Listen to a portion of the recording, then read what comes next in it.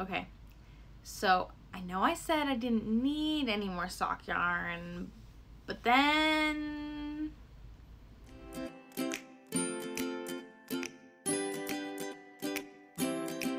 Hello, my name is Emily Crow from Crowchet Creations and welcome to my YouTube channel. I like to talk about all things yarny, knitting, and crochet, fiber, yarn adjacent. I like to do vlogs and stuff. This is a podcast. This is episode 24. And I also like to do podcasts like this one. This is episode 24 of my Crowchet and knitting podcast. I love to share about all the things I'm working on here. So if you want to stick around, I would love to have you. So make sure to like and comment down below. Let me know what you enjoy seeing from my podcast, what kind of projects you enjoyed, or what yarn caught your eye, because some definitely caught mine. And make sure to subscribe and hit the bell notification to be notified every time I post a new video. I typically post on Fridays right now is my schedule with a podcast every other week and with other vlogs and product reviews and other type of content on the off weeks of my podcast. Whew. as far as like beginning admin stuff, I can't think of anything really that's going on. Just trying to kind of pull myself together before things get busy with the holidays and with moving. Did we officially own our house last time? We officially own a house now. Closing paperwork is all done money has left our bank account, so we are now house poor. we are so very grateful.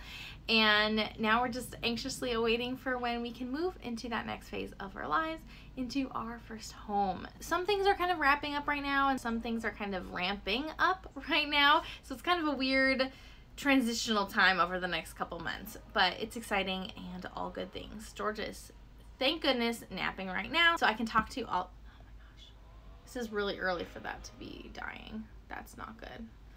Georgia is, thank goodness, napping right now, and so I can spend some time talking with all of you, and my gimbal just died, and it's only three minutes into my filming right now, so that's a problem. I guess we gotta get, get going into finished objects.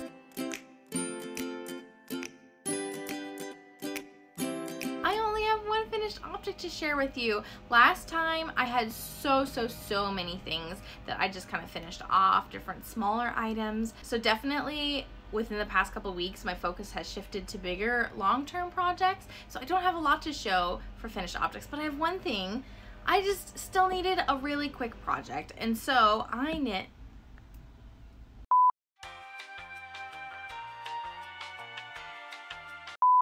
Okay, all of the technical difficulties. Oh my goodness. I just got to figure out something different. Maybe for Christmas I can get something that'll be a better solution for propping up my phone while I take these videos. Finished objects, let's get right into it. I've only got one. I still really needed an instant gratification project, even though I just finished a lot of little things because I'm focusing a lot on some bigger projects and I'm seeing a lot of progress on those projects, but it was really nice and refreshing to have something work up super fast. I have my Desert Vista Dye Work socks for October, and I think this is the earliest I've ever had them done. So beautiful. Sorry, I'm trying not to cover up my my face and my mouth while I show these. So pretty. So you'll notice they have kind of a little bit of a marling. I ended up doing DK weight. I held fingering weight double. So what I did, I split my skein of yarn into two equal cakes. And I knew that doubling up my yarn and knitting DK weight socks with that fingering weight skein, I would use up almost the entire skein to make a pair of socks. So knowing that, I didn't bother trying to match up my two skeins color wise so that all of the colors would be like all of the color stripes would line up identically in either one sock, you know, holding the strands double or just comparing both socks together. I didn't care about it matching because I just knew I would be playing some yarn chicken and didn't have a lot of wiggle room. So I was just gonna, you know, let the chaos roam, leave it be. I just grabbed one end of yarn from each cake that I had and then just started knitting and so that created this cool marling effect. Super neat. I really love how it turned out. I was a little hesitant at first to start it, but I think it looks so, so cool. And it ended up being that the colors didn't line up ever. So you'll see I have like an extra large blue section. That's because the blue from one skein ended at almost exactly the same stitch that the blue from the opposite skein started. So really, really neat to just see how it all worked out. And you'll notice these socks are literally almost identical. They're only off by like a couple rounds. And that was totally unintentional. It just turned out that way, which is actually kind of really neat. They're almost, almost the same. Really close. Honestly, you probably thought they were the same at first glance. So that is actually really fun. I used just like a tan mini from Desert Vista Dyeworks for the toes and the heels, and I just held it double. So really good as like a stash buster sock to do finger weight held double to make a DK nice cozy thick sock. When I make socks out of 100 grams gain usually maybe I'll use like half the skein if I don't use any contrast color. But then if I use a contrast color, then I'll only use like 35, 40 grams. And so I have a lot more of the yarn left over, which isn't a problem, but it is nice to use up almost an entire skein of yarn. And so that's what I did. Yay! I need to put these online and submit them for the make along, but I have my socks done, which feels so good. And I really want more DK weight socks. I think I mentioned that in my last podcast with the other DK weight socks that are still a WIP that haven't been worked on because I still need just a little bit more contrast yarn for them. But I have another pair of DK cozy socks. I need to make some more, I think, is is where my mood is going. And since we're moving somewhere colder, we're moving from California to Utah, then I think cozy socks are in order. Let's move on into WIPs. That is the only finished object I have. Finished objects? It's a pair of socks. So let's move on into WIPs.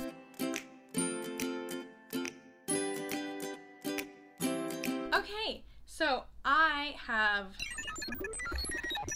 four WIPs in front of me, which is not a lot.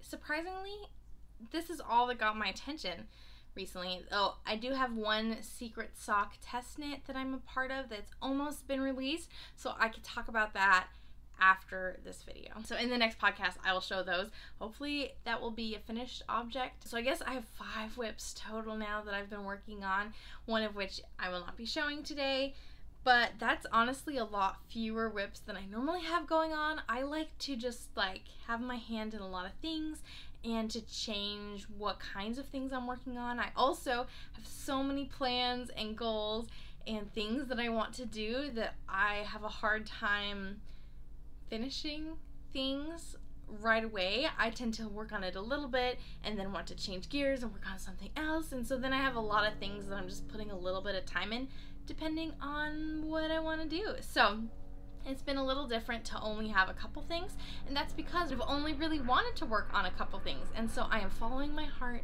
and just spending lots of time working on a few projects. I think we should start with the biggest, the longest knitting WIP I have, and this is my Find Your Fade shawl. And I've honestly put in some good time. I think realizing that I hit the halfway mark has helped me to put more time into it because I know I'm closer to finishing than to starting. this this shawl just felt so so long. Oh my goodness. And realizing that like I'm using up this yarn feels really good too. So let me show you.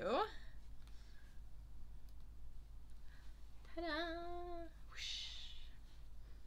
And the nature of this is that it doesn't look like I've done much because it's like the same pattern basically throughout, just in different colors. And I'm still on the color I was on last time.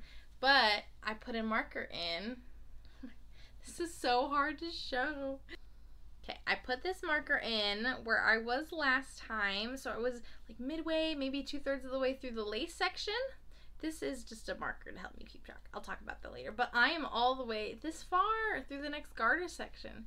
So awesome making some good solid progress. I've been working on this during like my nightly scripture study or in the morning if I get time to study scriptures in the morning, which I usually don't because I usually don't wake up till my daughter wakes me up. I usually spend at least like 15 minutes or so on it every day, if nothing more. And so that's been really fun to just put in a couple rows every day And I think I'm going to continue to do that because it makes me not feel obligated to work a lot on this at any one time. And since the garter stitch has been really, it's been a slog for me. I've really not enjoyed it. I think it'll be good to just put in a little bit of time most days to work on it and just see it grow. And that will help me feel like progress is still happening and obviously it's been working because I've gotten pretty far on it. It's been really nice. The halfway mark is somewhere around like here, I think.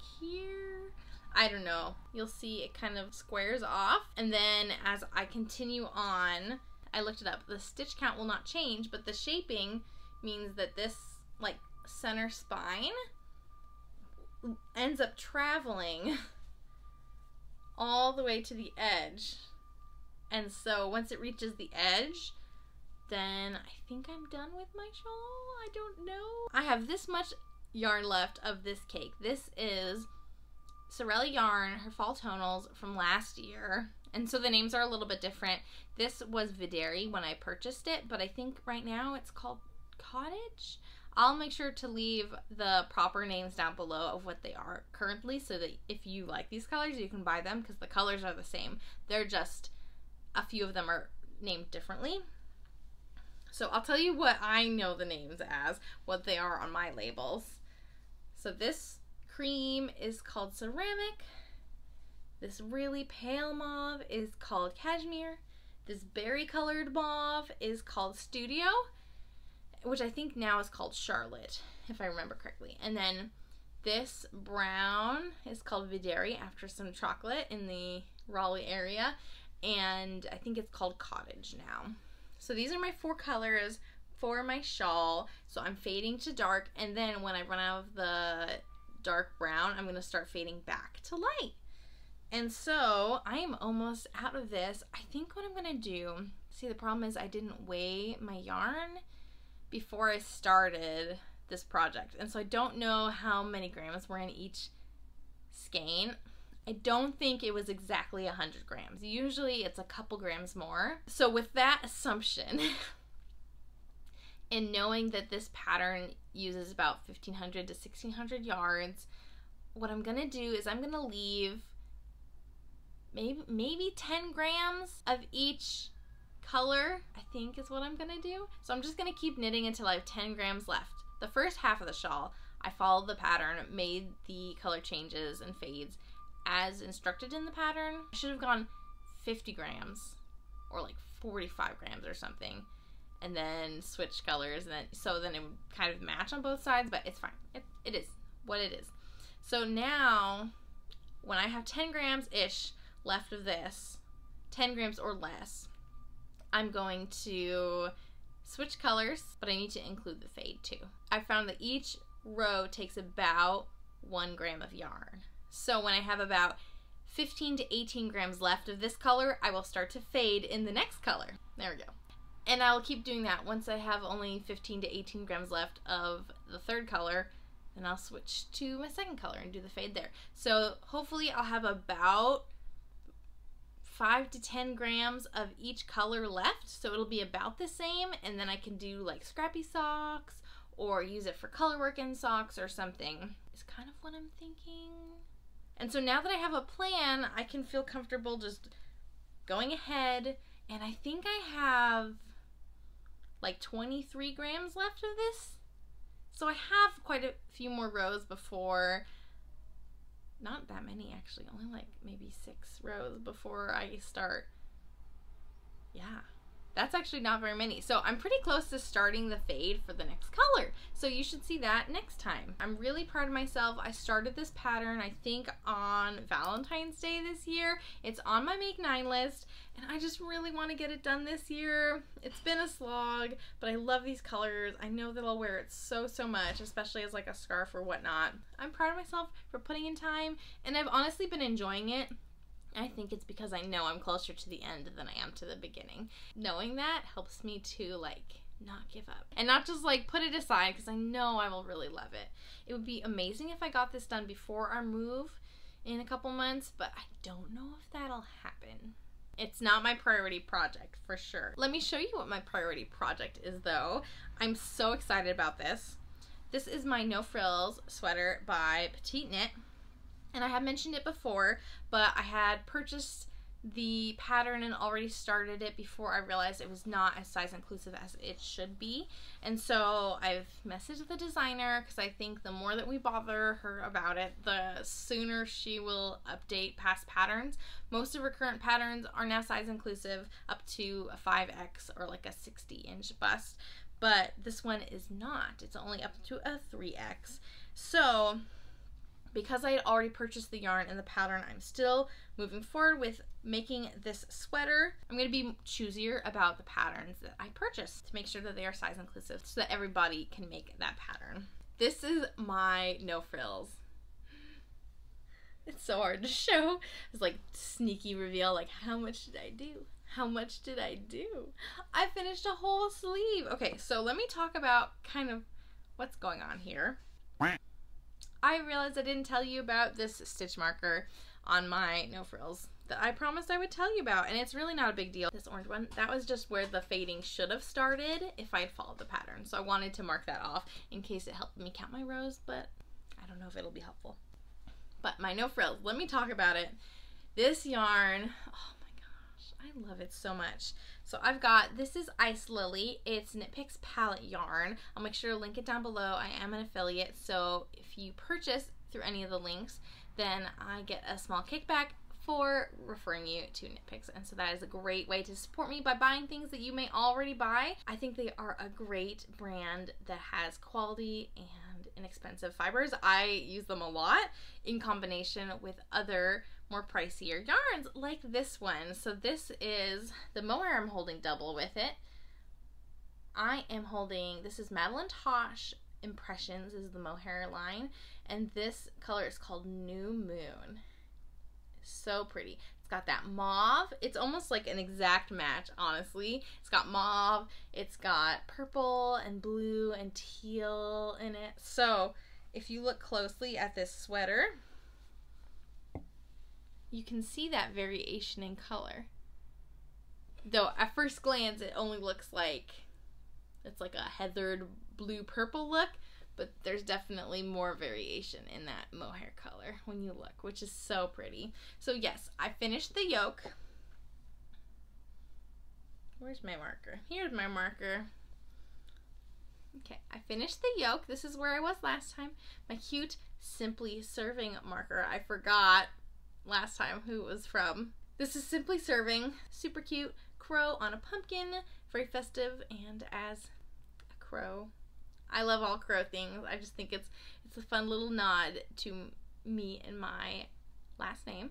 So I finished the yoke. You'll see I split for the sleeves. I knit about another inch or so until I ran out of yarn. I almost ran out on uh, the Knit Picks yarn, but I ran out of the skein of mohair that I was using, and so I figured that was a great place to stop and switch to the sleeves. I really like doing sleeves before the body because then I know for sure that my sleeves are long enough to be comfortable because I didn't want to end up with an awkward length of sleeve if I happen to run out of yarn. I don't think I'll run out of yarn for this project, but it just helps me feel very secure.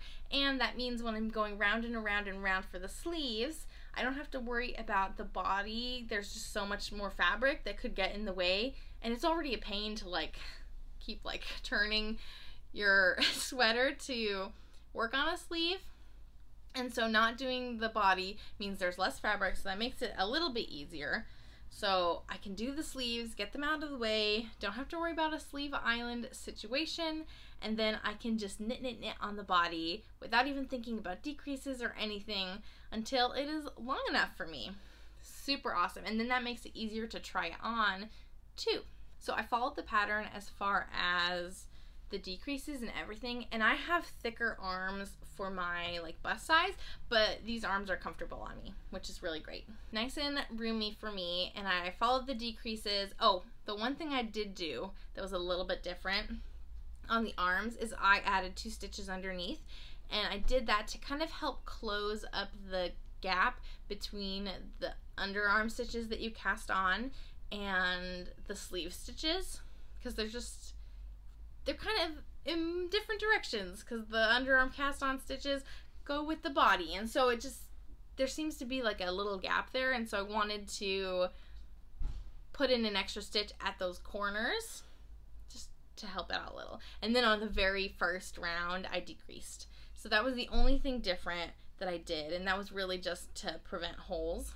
But I like did the cuff the same length. I did just as many decreases, and I found that when I did my last row of decreases, it was the right length per the pattern. And I tried it on, and I liked the length on my body as well. And so I did, I think 20 rounds of the cuff is what ended up being long enough, and I liked the number 20. I think I did 19 rounds, and I thought that was long enough, but I just threw in another round because I liked having an even number instead of 19 for the cuff.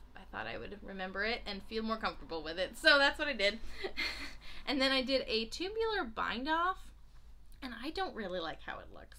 I mean, like, I don't mind it. It just doesn't look as clean as it's been in the past. So I don't know what I did wrong. I don't know. I feel like it looks a little bit more tangled and like curled up on the edge.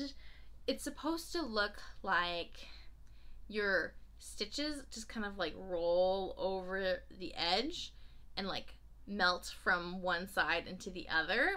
I don't think it looks like that at all right now. It doesn't look like that bad. I tried it a couple times and it didn't look any better, so I'm just leaving it. I'll do the other side the same way and then maybe I don't know. Now I'm thinking maybe I should just look it up and see if I did it wrong because that's probably what happened is I did my tubular bind off wrong. I don't know. Yeah, I probably switched something around, but I don't think it looks horrible, but it's not the look I was going for, so that's a little sad. I have started my second sleeve just barely. Just barely. I'm like two rounds in. That's all I did was start it last night, and then I put it down. So yeah, I'm going to do the second sleeve and be well on my way. I was hoping to have the sweater finished by my birthday. I might even finish by the end of this month if no, that's that's asking too much. It will definitely be done by my birthday. My birthday is kind of mid November. So, yay! So exciting. This has been such a joy to knit on because I love the color. I love, love, love mauve, and I love seeing this mohair come to life. And it's just so nice and cozy and helps me think that I'm somewhere nice and cool that's experiencing some beautiful fall weather and it's not in the 70s here, which is beautiful, but it's not the fall weather that I grew up with in New York and I do miss having that chill in the air and the rain. It's reminding me of the falls that I grew up with and the winters that are coming. And so it's just bringing me a lot of joy right now. You knit a no frill sweater? Or have you knit another basic sweater that kind of ticks all the boxes for like your favorite basic raglan sweater? Let me know down below. Okay, so those are my two big projects right now. I've got a couple little projects to show you. This is my Ambulate sock for Row and Cades. This is a test knit. I've not blocked this sock. It is for my daughter. But I have one sock done for the test knit. The pattern is now available. I'll try to include some pictures. It's a little hard to see with this lighting, but you'll see there's like this cool spider stitch and there's the twisted rib to be a drag line, which is, you know, the silk coming from the spider to help them get everywhere the drag lines and the spiders. And she has charts in the pattern to help you just, you know, just follow the charts and what the pattern is. But she also has empty charts so you can place your own spiders, which I plan to do to make a parrot for myself. Super fun. It's against a purl background, which definitely takes longer than I thought it would. Like the sock felt like it took a little bit longer than I'm used to but totally, totally worth it. I think it's beautiful. This yarn is Shersty Cat Designs in the color Dust Bunny. I really enjoy working with this base. I wish I had the tag. I don't know why I didn't keep the tag. I wound a bunch of yarn when I was moving from Texas to California the first time and we were not going to have any of our stuff basically. We took a very, very small U-Haul trailer on our drive to our new place. It was a furnished apartment, corporate housing. And so we had like minimum stuff. So I wound a bunch of yarn before we left that I could take with me, and I left most of my yarn behind in a storage unit. And this is one of the skeins that I brought with me. I think all that yarn I just threw away the labels, which is super, super silly because now I put my labels on the inside of my yarn cakes and that way I can remember what it is until I keep track of it, put it on Instagram, put it on Ravelry, etc., etc. If I've worked with it enough, then like I know what it is and I don't know which base this is, but I really do like the feel of this. So I need to find some Shirsty Cat designs in person and then feel it so that I can figure out which base this is because I do really like it. It's very plump and soft and it's got like a little bit of tooth to it almost. It's got it's got a good solid feel. So it might be the BFL sock base that she has, but I'm not sure. It's also very soft. So softer than other BFL bases that I've worked with. Sock. One sock is done. All ends are weaved in. I got pictures taken on my toddler's foot, even though she did not want pictures for some reason. She doesn't want to wear the socks I knit her when I want to put them on her feet, but she'll want to wear them any other time. Ain't that the way with toddlers? I started my second sock, I just cast it on. Ta da! So, I have not worked on it in a little bit. I should though, so that she has these socks for Halloween time. I'm hoping that because I have a cord available now, for these that they'll go faster. When I was about halfway through this first sock, my cord broke when I was knitting, and so I had to switch everything over to DPNs, and that was a pain, but I did it. I knit half a sock on DPNs. Don't ever want to do that again. I didn't really enjoy the DPNs. That's for another time, though. But this sock, I now have a cord free. I didn't buy a new cord yet, but I have a cord free finally, so I was able to cast on the second sock and I need to work on that. I've got like a color palette going for like all my WIPs right now is like moody purples and pinks and stuff. you can see what my colors are. These are my fall colors and my summer colors, my spring summer colors are like yellows and peaches and pinks and stuff. One more WIP to show you. Oh, I actually haven't picked this up in a few days. I should pick it up though. This is a hat that I've started. Ta-da! And you'll notice that this is the local yarn that I purchased. I purchased this from Amazing Yarns, which is a yarn shop boutique that sells a lot of hand spun, hand dyed, textural art yarns. This is local fiber from sheep that I have seen. There's a farm called Deer Hollow Farm. It's in Cupertino. It's in Rancho San Antonio Nature Preserve County Park. Basically, you can park at this county park and you just walk like a mile into the park and there's a farm there which is so cool it's so fun to go to with little kids and whatnot and they have you know the animals around you can see this wool came from one of those sheep and so I had to buy it because I love, love, love going to that farm. It's so cool to be able to have some local wool. And so I wanted something special. I want to finish a hat before we leave so I can go to the farm with my hat and be near the sheep who provided this wool. Makes me so happy. I finally picked my pattern and I've started on it. This is just the bottom ribbing. It's called the Loopty hat and I don't remember the designer so I'll pop that up above as well as down below. This is ribbing. It's not a normal ribbing though. You'll notice there's like sometimes it is purl 2 and sometimes it's a purl 1 and so it kind of you know switches up a little bit. It's setting the stage for doing some really cool cables along the hat. Mm, I may be halfway through the brim, not quite halfway. It's going to be a fold over brim, so it's been nice. Now that I have the ribbing pattern established, it's not as much of a headache to do, but the first couple rounds, I had to make sure to count and focus that I was putting all the purl ones in the right sequence since mostly it's just a 2x2 ribbing, but not quite. And so, yeah, glad that it's now at a point where it's more mindless I need to work on this a little bit more so I can have it done in time to go visit the farm before we move. So I finally cast that on. I'm so excited about it. This color is so, so pretty. I love it. Such a nice chocolatey brown from a cute local sheep.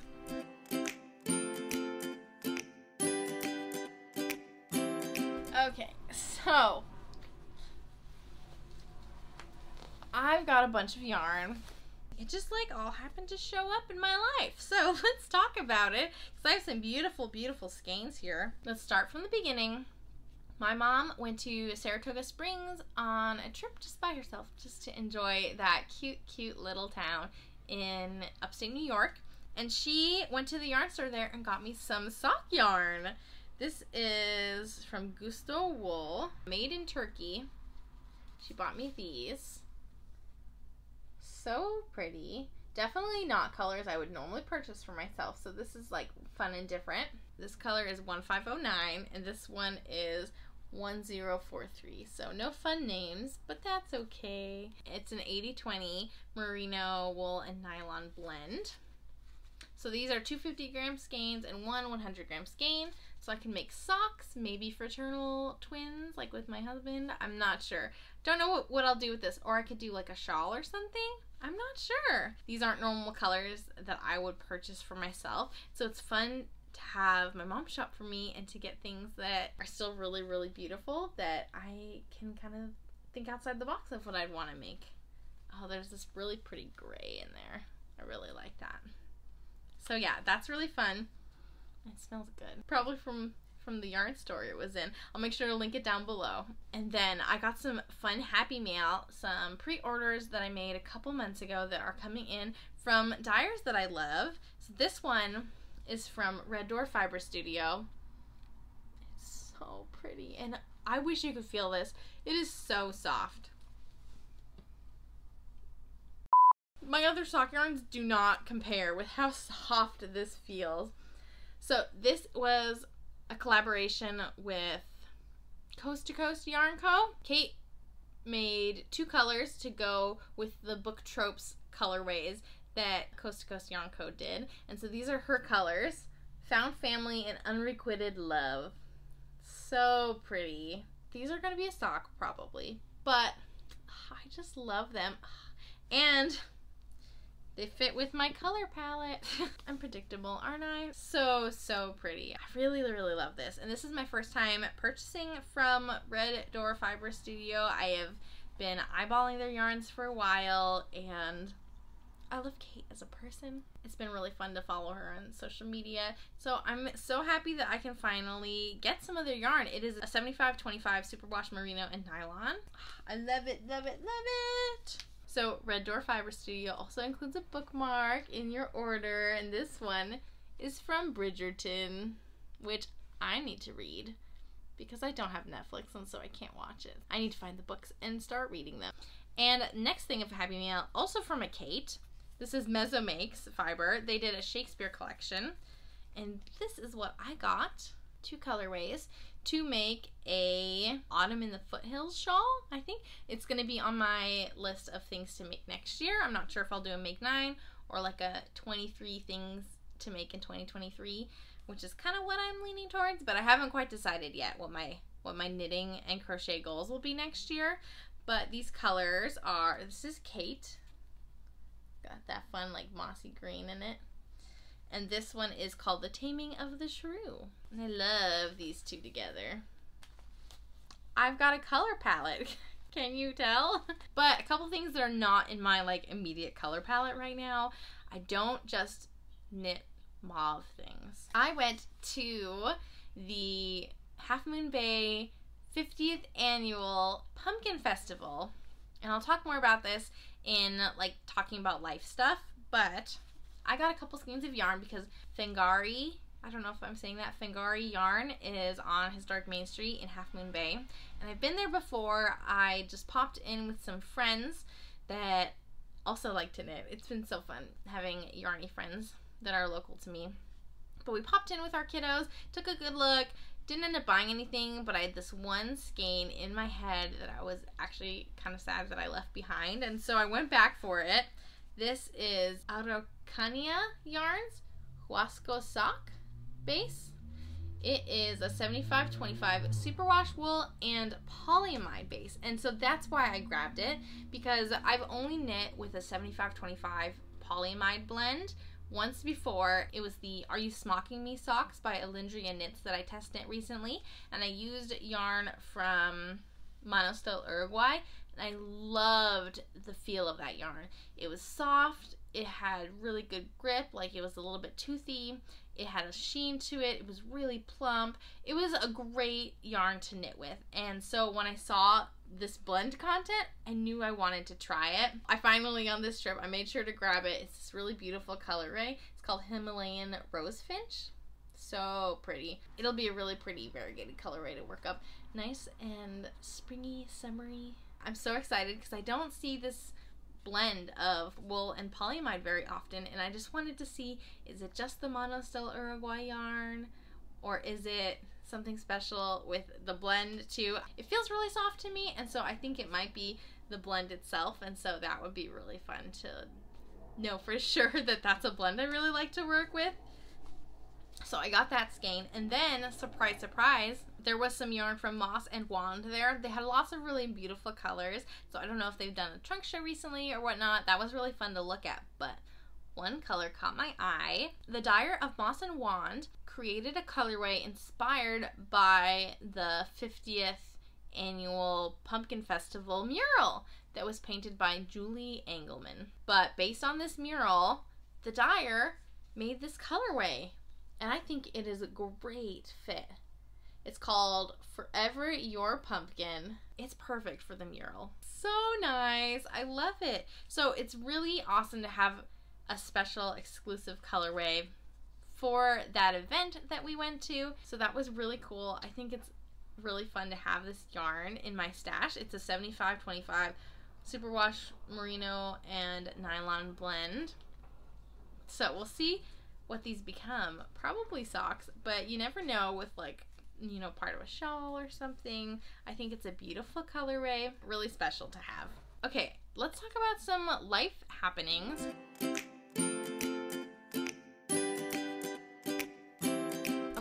Only really big life happening thing that I can think of right now is that my husband's parents came to visit us and they were here for a long weekend for their fall break. They were both teachers, and so that was so fun that they could come and visit here. They hadn't visited us here in this apartment, the not corporate housing apartment, now that we have our stuff again. If you haven't been following along, we've lived here about a year and they hadn't visited us here in this apartment yet. So they came and visited us and they were able to stay with us for a few days and it was so nice. It felt so short, but we made sure to spend some time together. We went frisbee golfing, and oh my goodness, Georgia was so cute. She really loved it. And I have a little mini driver disc that's like this big that I bought once from like a Dick's Sporting Goods because it was cute. And so it was perfect for her to play with. So she was throwing it all over the place and following us along and like helping us find our discs. And like she would like put her disc in the pin. She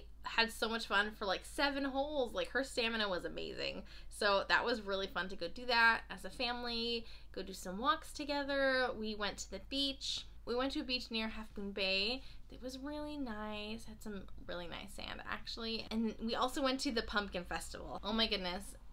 I had no idea that this thing was going on, but it's the 50th annual pumpkin festival and it was a huge deal on Half Moon Bay and traffic was horrendous to get there. And so we ended up choosing to go the long way because it would take the same amount of time. We thought there'd be less traffic and we could take the scenic route on the US 1 down the coast. And it worked out all right until we got to Pacifica, which is just north of Half Moon Bay. We ran into some cyclers. So they were doing, I'm talking about this because it just was all part of our day and it was really interesting to see. So the Million Dollar Challenge was a cycling event to fundraise money for para athletes and to like create more opportunities for people with disabilities to be athletic is my understanding. And so they started on saturday the day we went to the pumpkin festival they started on saturday in san francisco and we're biking all the way south to san diego. So a big chunk of california. It's like 640 miles or something they were going. It's a long way. And when we hit pacifica we also ran into a bunch of these bikers, these cyclers, and it was really cool to see. There was people pulling like trailers with someone inside it, like a bike trailer with someone inside it, like pulling them along for the trip, people using hand bikes, all sorts of really interesting things. And it was really cool to see people do that with parts that were two lane highways it, that was winding in the mountains a little bit and along the coast, and then also bikers on the shoulder. Like it just traffic was so backed up with that. Plus the pumpkin festival itself was causing traffic to back up. So it was a long, long trip there. but we made it. We had to do a little bit of walking to get there, but we found free parking, so it was totally worth it. And we just walked down. It was like historic Main Street. There were all sorts of vendors and like local artisans, which is really cool. All the shops were open to go in and browse. They had a little parade where like the giant pumpkin was on a trailer and like went through the like the area.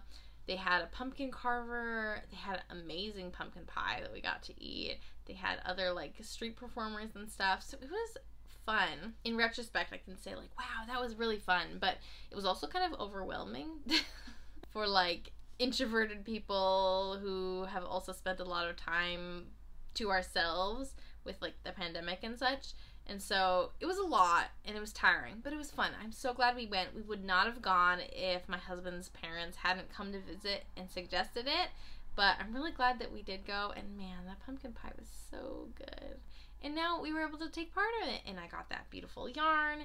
And I saw the mural it was based off of, covering the side of a building. It was really cool. It was just a cool, cool experience. Other than that, and just like kind of hanging out with family, we didn't really do much. Like Saturday was our big day to go out and do things, and then Friday and Sunday we mostly just went on walks and played games and hung out and talked, and it was just what we needed. It was so nice. We're going to move a lot closer to them. We're going to be only like 30 minutes away from them when we move in a couple months, and so that'll be really good that they can spend a lot more time with Georgia because she had so much fun when they were here. It's really special having family that is so loving and that we can really enjoy being with. And that's true for both sides of our family. So it was really great to have them visit us, and I'll be able to visit my family for Christmas this year, which we are so looking forward to.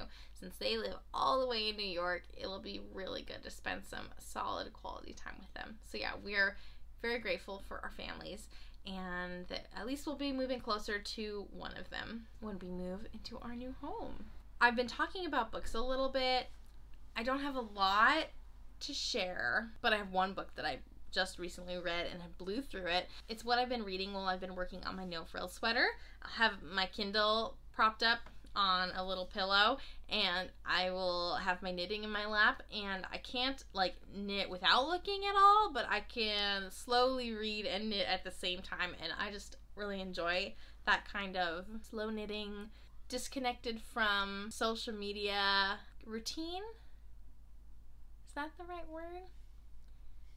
Yeah, it's kind of it's a routine. It's a like that mindful practice of like knitting and reading at the same time. I really enjoy that.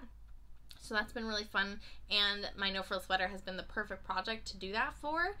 And so I read Wrong Place, Wrong Time by Gillian McAllister. I loved it. Basically, it's a thriller novel. This woman sees her 18 year old son stab someone right in front of her, has no idea who that man is, has no idea why her son has done this, and she goes to bed that night wondering what in the world they're going to do to help her son, who is now a criminal and like in police custody. She wakes up the next morning and it is actually the day before.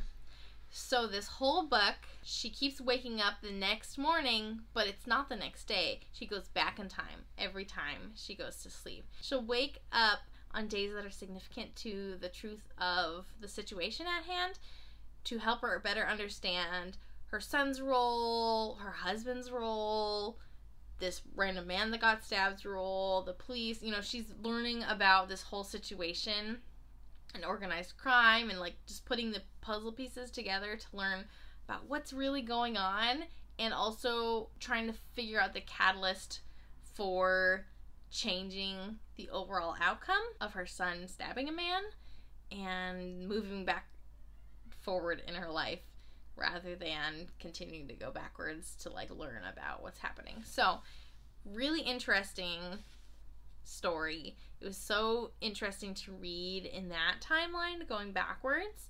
And I love that every chapter or so you would learn something. And so I felt like there were like little twists and turns along the way, like the whole way. And so the final ending wasn't totally out of left field, but like the whole book is kind of like winding around and kind of showing you bit by bit, kind of as she's learning bit by bit, and you're kind of getting a better understanding of what's really going on.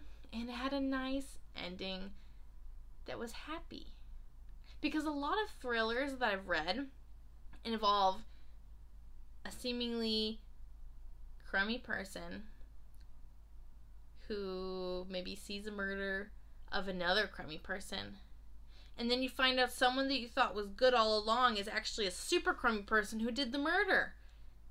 And so you just feel yucky after that. It's not wholesome.